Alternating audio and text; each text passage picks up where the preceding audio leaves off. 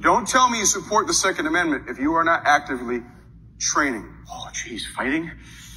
I don't know if Jesus would do that. Uh, boy, uh, violence? Uh, we believe in peace through superior firepower. Amen? You heard that right. We believe in peace through superior firepower. That was right wing extremist Pastor Jason Storms, and he wants to spread his faith through the barrel of a gun. But Storms isn't just talking about violence.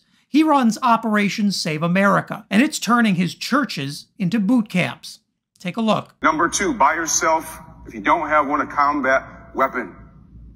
AR 15, standard combat weapon today. Get yourself an AR 15. I would strongly recommend. Everybody have a AR 15 and a 9 millimeters. Lots of other things you could buy. You can get yourself an AR 15 for under $1,000. If you don't have one, I can't encourage you strongly enough to get one. Get an AR 15, get a combat weapon, and get some other combat gear. The rise of the Christian nationalist right has been a golden age for people like Jason Storms. He made his name harassing people outside of Planned Parenthoods and abortion clinics and crusading nationwide against contraception. And now Storms is calling for more than just harassment. He wants his followers to prepare for a battle with the federal government. That won't be anything new for Storms, who spent January 6th attacking the United States Capitol. We're at the Capitol. Bunch of guys rushed in, got into the rotunda, overtook the building. They got tear gassed. What Storms is trying to do isn't that different from what any other extremist organization does. By framing the clash between his followers and the government as both inevitable and desirable, he's getting his followers comfortable with the idea of sacrificing their lives in shootouts with federal agents, and his Operation Save America boot camps look concerningly similar to combat training camps. It doesn't help that Storms has based his headquarters in Waco. Storms and his extremists run afoul of the law almost everywhere they go, even in states that are sympathetic to their cause. In Tennessee, a judge granted a restraining order against Storms' group after armed attackers raided an abortion clinic and threatened to, quote, take the whole building down. In footage recorded by Storm's followers, they cheerfully talk about terrorizing the staff and patients, and then told police they plan to escalate the situation into violence. Police moved in and arrested three Operation Save America lunatics including one armed with a pistol. Operation Save America works on an intimidation based model. In Tennessee, over 150 demonstrators spent a week protesting outside clinics in Nashville and St. Juliet. Jason Storms personally blocked the doors of one clinic, forcing staff to go into a multi hour security lockdown. None of this behavior is new. In 1999, the Department of Justice sued Operation Rescue, Operation Save America, and others for obstructing federally protected access to abortion clinics. In the years since, Operation Save America has preached a gospel of stockpiling weapons to ward off any future fight with federal agents. With the Republican Party now leading nationwide efforts to destroy not just abortion but contraception, Jason Storms has rapidly moved from the party's fringe to its main stage. And now Storms is able to call on senior figures in the Republican Party, and he's enjoying a newfound sense of power in this Trumpified GOP. Your preacher a yacht? Let him get a job and go buy it himself. That's right. Your preacher want a Bentley? Let him get a job and go buy it himself. That's right. Your preacher want a plane? Let him go out and sell ice cream and buy it himself. Amen. Amen. You give these bums your money, they ride in a jet that you never get a chance to ride in. That's true. That is Pastor Gino Jennings, the most honest and keeping it real televangelist I've ever seen in the game. In a minute, I will show you a couple clips of some televangelists who are quite the opposite of that. And at the end of this video, I'll show you a clip of a pastor that, uh, let's just say, he's a reverend unlike any you've ever seen. But first, I'm sure this guy, Pastor Gino Jennings, is totally on the up and up, has never had any controversy. You can tell because he tells you not to give money to other televangelists who are asking you for money to make themselves richer. Seems totally pure. Let's dig a little deeper, though, real quick. He's the founder of the First Church of Our Lord Jesus Christ, Inc., which he started at age 21 that he said God told him to do.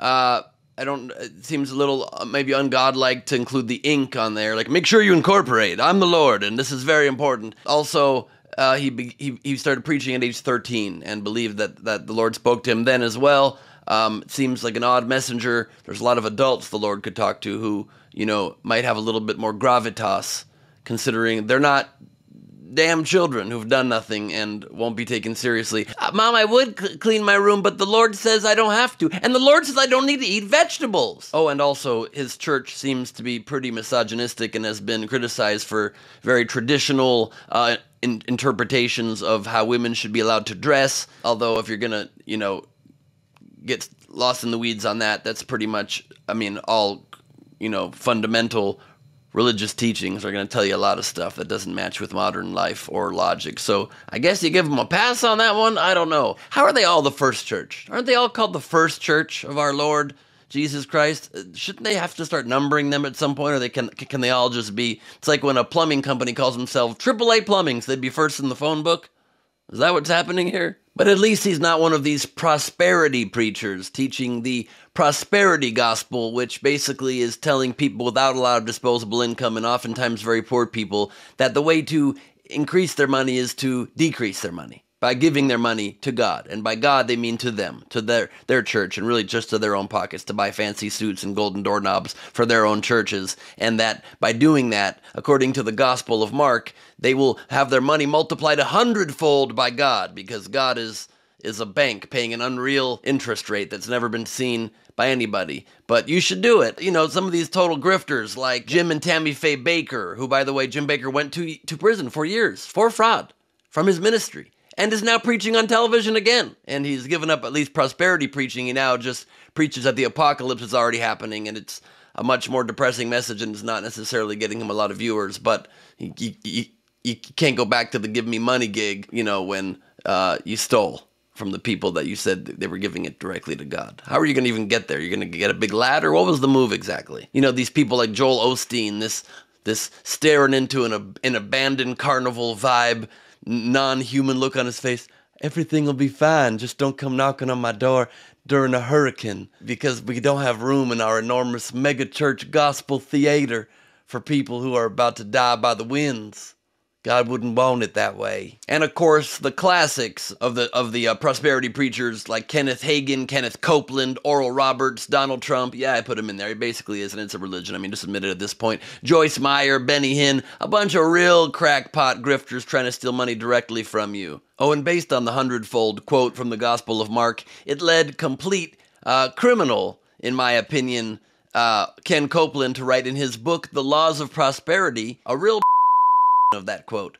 And I quote, Do you want a hundredfold return on your money? Give and let God multiply it back to you. No bank in the world offers this kind of return. Praise the Lord. Literally sounds like a commercial for a brokerage firm.